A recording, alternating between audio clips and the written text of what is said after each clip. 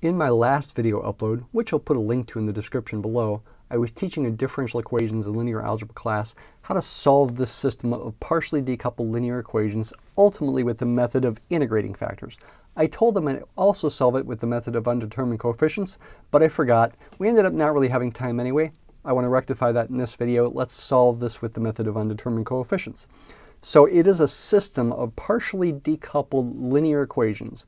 Linear because x and y appear to first power, partially decoupled because the second differential equation, dy dt equals negative y, does not involve the other variable x. It's decoupled from it. We can solve that equation very quickly, either by separating variables or by effectively guessing and checking. This is going to be we're after a function whose derivative is the opposite of itself, negative 1 times itself e to the negative t works, any constant times e to the negative t works, and in fact, if the initial value of y is y sub 0, where y sub 0 is some specific number, that constant has to be y sub 0. Then we substitute that into the first differential equation in place of y, and what we get is this equation right here. This is the differential equation we now want to solve with the method of undetermined coefficients. How do you do that? Well, if you write it in this form, like I did in the previous video, that's a non-homogeneous linear equation. It's non-homogeneous because the right-hand side of the differential equation is non-zero. The associated homogeneous equation, associated homogeneous equation, takes that differential equation and makes the right-hand side equal to zero.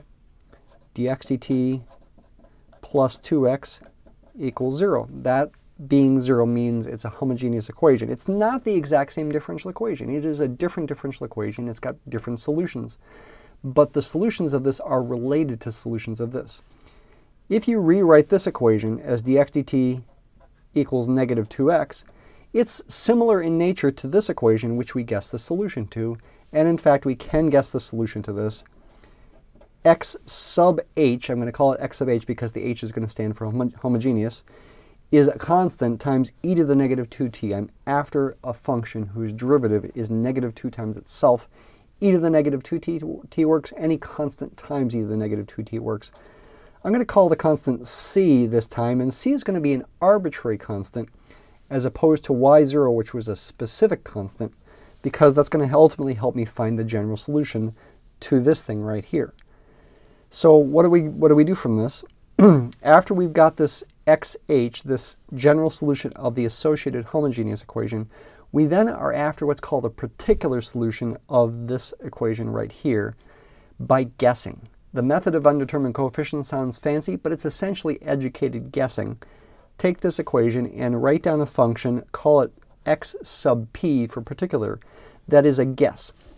It's not a wild guess, it's an educated guess. I'm after a function whose derivative plus 2 times itself equals a constant times e to the negative 2, e to the negative t.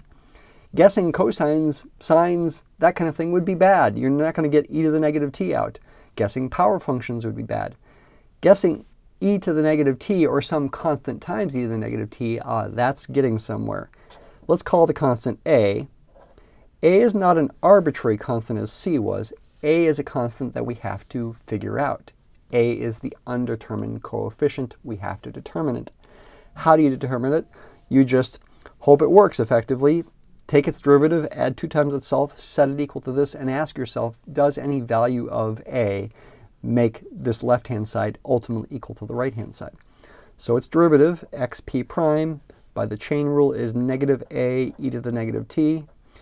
Now compute xp prime plus 2 times xp. I'm substituting this function this particular solution, or thing I hope is a particular solution, into the left-hand side here.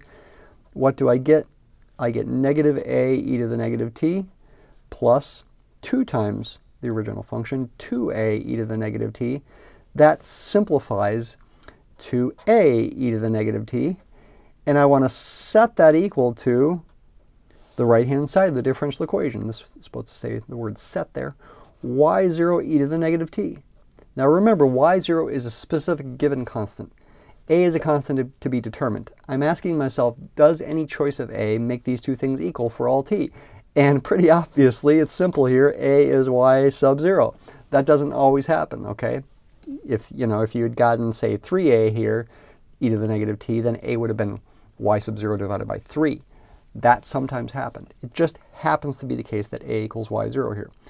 Now we add these two functions, xp and xh, where the c there is arbitrary and the a is y0, and we would get then our general solution to the non-homogeneous or inhomogeneous equation, and we hope that this matches what we got with integrating factors, which you can see over here.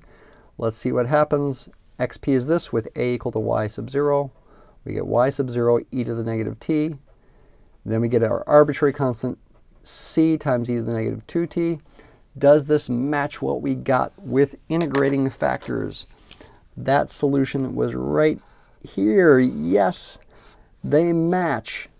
These two things match. I got the same thing I got with integrating factors. You can also go down here and double check that we get the exact same final particular solution to the initial value problem by ultimately solving for how c depends on both x0 and y0, and you get this for the solution, the unique solution of the initial value problem.